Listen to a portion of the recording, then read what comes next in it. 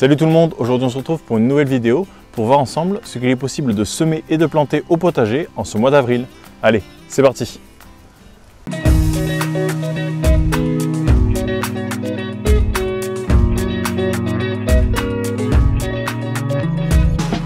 Alors déjà, il faut savoir que comme d'habitude, il y a des choses qui étaient valables le mois dernier et qui le sont toujours ce mois-ci.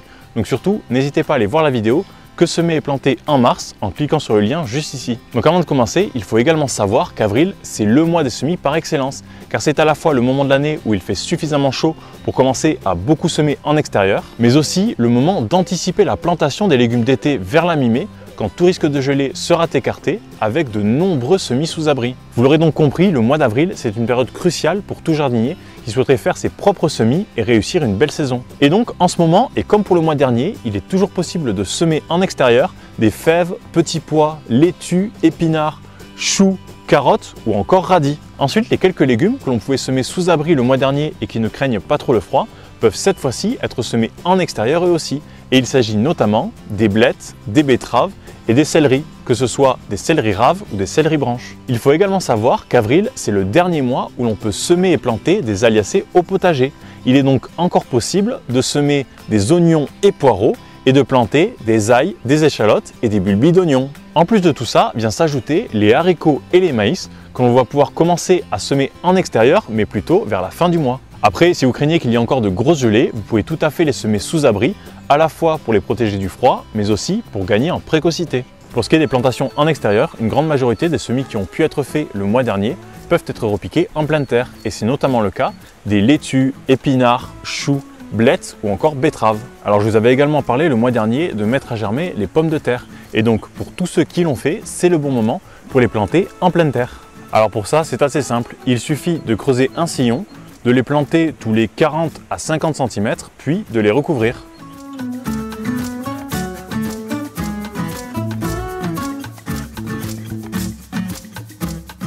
Passons maintenant aux semis sous abri et donc comme d'habitude, quasiment tous les légumes qui peuvent se semer en extérieur en font partie. Ensuite, il y a les fameuses tomates qui peuvent encore être semées et d'ailleurs, j'ai fait une vidéo à ce sujet que vous pouvez aller voir en cliquant sur le lien juste ici.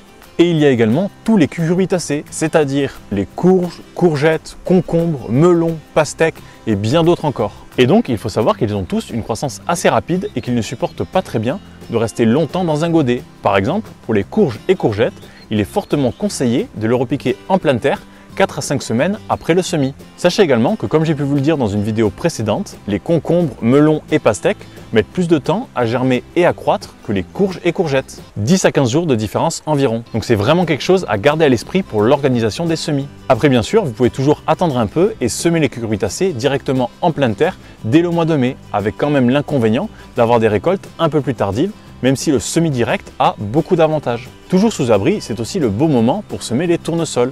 Alors vous pouvez très bien attendre le mois prochain pour les semer directement en pleine terre, comme pour les cucurbitacées, mais personnellement je vous conseille plutôt de les semer en godet, surtout si vous avez beaucoup de limaces dans votre potager, car ces gastéropodes en raffolent et il est bien plus facile de protéger des plants dans des godets plutôt qu'en pleine terre. Et en plus, cela vous permettra d'avoir un peu d'avance et de gagner en précocité même si ça n'est pas forcément très intéressant pour des tournesols. Alors pour ce qui est des poivrons et aubergines, vous pouvez effectivement encore en semer en avril, mais il faut garder à l'esprit qu'ils ne produiront leurs fruits que beaucoup plus tard, et donc vous risquez d'avoir assez peu de récoltes. Enfin, il y a d'autres choses que l'on peut faire en lien avec les semis et plantations. Ainsi, on va pouvoir bouturer les patates douces. Alors pour ça, bien sûr, vous avez plusieurs possibilités, et pour ma part, je les bouture directement dans les godets avec du terreau bien humide.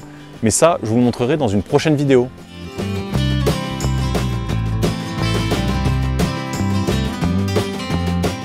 Ensuite, c'est également le bon moment pour repiquer les tomates dans des godets individuels. Et si vous voulez savoir comment il est possible de s'y prendre pour les réussir, vous pouvez cliquer sur le lien qui s'affiche en haut à droite.